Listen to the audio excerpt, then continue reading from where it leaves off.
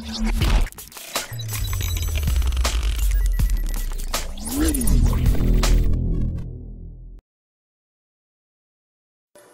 Friends sports பற்றின செய்திகளை தெரிஞ்சுக்க தமிழ் கிரிக்கெட் சேனலை சப்ஸ்கிரைப் பண்ணுங்க.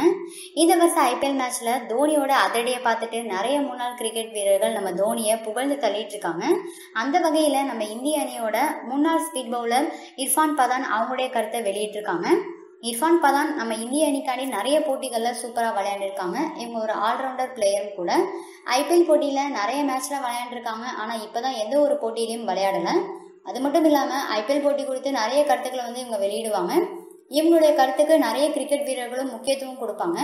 இவங்க நம்ம தலை தோனியை பற்றி நிறைய விஷயங்களை ஷேர் பண்ணியிருக்காங்க. அவங்க என்ன சொல்லியிருக்காங்க அப்படின்னா இப்போ ஒரு அணியில் வந்து கேப்டன் இருக்காங்கன்னா அந்த அணியில் ஒரு ஒரு புது வீரர் ஜாயின் பண்ணுறாங்கன்னா பழைய வீரர்களுக்கு கொடுக்குற முக்கியத்துவத்தை புது வீரர்களுக்கு கொடுக்க மாட்டாங்க.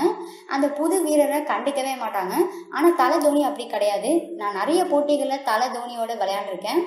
தோனி வந்து தன்னோட அணியில் வந்து ஒரு புது வீரர் ஜாயின் பண்ணுறாங்கன்னா அந்த புது வீரருக்கும் வந்து சக வீரர்கள் மாதிரியே முழு மரியாதையும் கொடுப்பாங்க.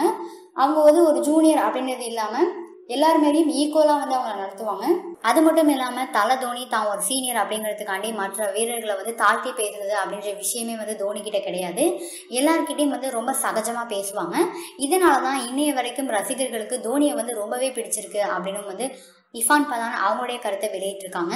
இந்த வீடியோ உங்களுக்கு பிடிச்சிருந்தா லைக் பண்ணுங்கள் ஷேர் பண்ணுங்கள்